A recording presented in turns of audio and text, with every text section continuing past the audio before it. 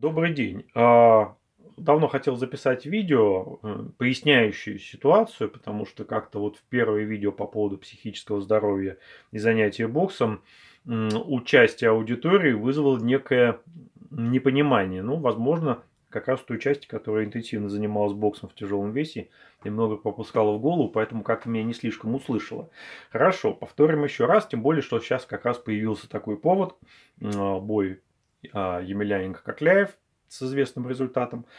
И как раз таки очень а, иллюстративный в плане проблем, которые могут возникнуть при занятиях боксом. Во-первых, бокс очень хороший вид спорта. Заниматься боксом очень полезно. Я бы более того сказал, что в принципе, если бы боксом занимались в той или иной степени, не обязательно, естественно, даже на уровне любительских соревнований, просто вот так вот на уровне того, чтобы походить, постучать, там немножечко в спарринге постоять, это было бы, наверное, неплохо вообще для всех. Ну, для э, юношей совершенно точно, но и для девушки, я думаю, тоже. Хотя сейчас тенденция такая, что девушки, похоже, начинают заниматься единоборствами больше, чем юноши. Ну так вот, а, это хорошо. Бокс это хорошо, это замечательно, это отличный вид спорта, который дает человеку уверенность в своих силах, который снижает напряженность и страх в плане того, что меня могут ударить по лицу. Это отличный вид спорта, который развивает и физическую, и психическую силу и выносливость. Это все прекрасно и замечательно. И как человек, который сам занимался когда-то боксом, только немножко совсем, но тем не менее, да, могу сказать, безусловно, это очень полезно и хорошо. Так что нет, ничего против бокса я не имею.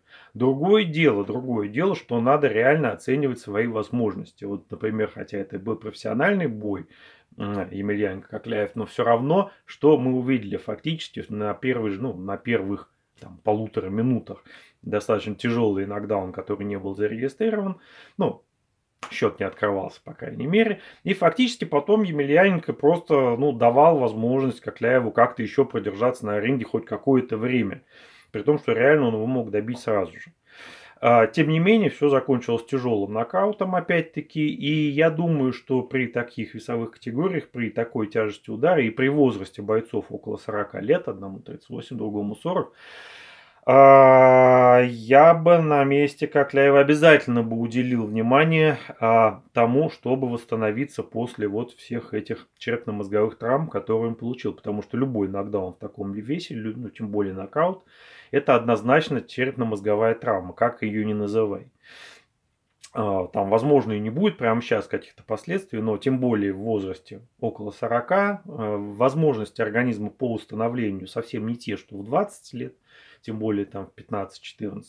И э, без последствий это, конечно, может пройти, если повезет, а может и не пройти. По сути дела, если уж сравнивать вот так по тяжести, то вот такие вот последствия поединка, которые мы наблюдали на этом бое, мы вполне можем приравнять по тяжести к транзиторной ишемической атаке, то есть прединсультному состоянию. Но если сравнивать с чем-то не связано с травмой, а, допустим, вот с сосудистой патологией.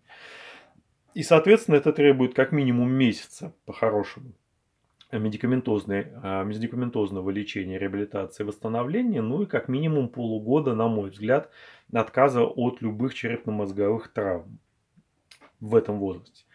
А, на что хотелось бы обратить внимание. А, тяжелый вес, очень резкий, очень хорошо поставленный удар у Емельяненко. Конечно, а, здесь, здесь говорить о том, что это не, не будет иметь последствий или не имеет последствий, просто глупо.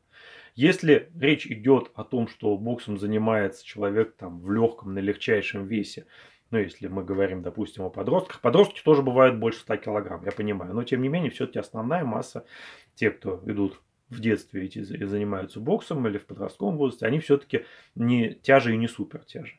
А, если а, бой идет, спарринг идет не на однозначно вот такую прямо вот победу любой ценой там или умереть на ринге или победить, то это не является проблемой, это не создает проблемы в дальнейшем, это не является катастрофой. Если мы говорим о в спорте высоких достижений, то, естественно, как любой спорт высоких достижений, какой хотите возьмите, там плавание, теннис, гимнастика, легкая атлетика, бокс также является, естественно, травматичным, естественно, с большими затратами, с большими потерями, в том числе и воздействиями на психику вследствие вот этих вот регулярных, хронических, а иногда и тяжелых черепно-мозговых травм.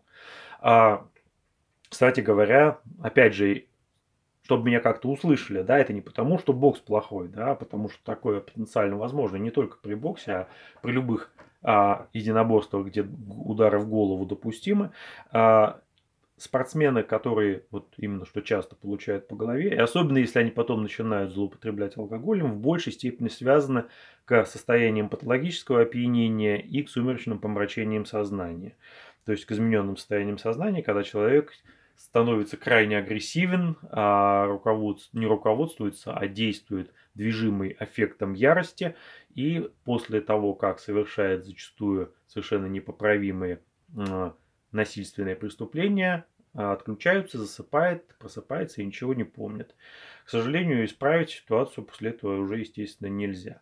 Поэтому, поэтому, ну, еще раз, чтобы меня услышали любители бокса, спортсмены. А вот, а бокс, спорт замечательный, хороший, нужный и полезный.